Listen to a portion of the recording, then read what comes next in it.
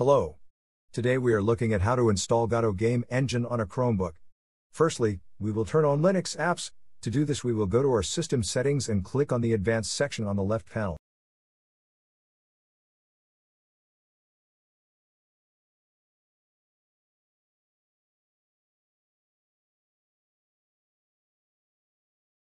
Now we click on the developer section.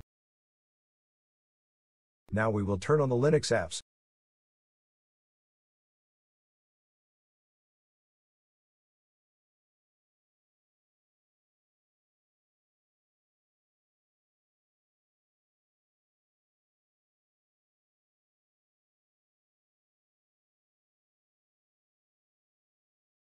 Now that we have enabled Linux apps on our system, we will continue to the next step, which is to run several commands in a terminal that will install the application.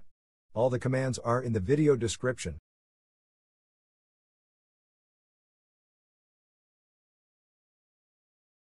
Now we will copy the first command and open a terminal session from our app menu.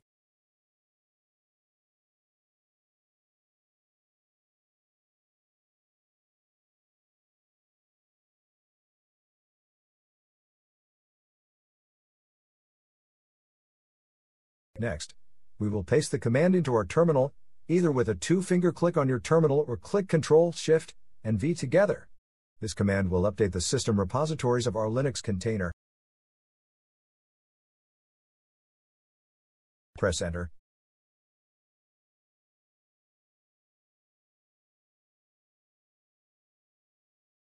Now we will install Godot.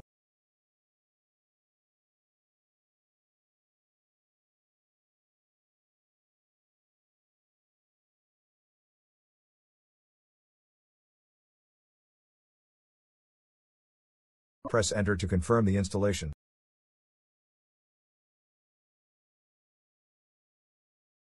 Godot is now installed. Let's launch it.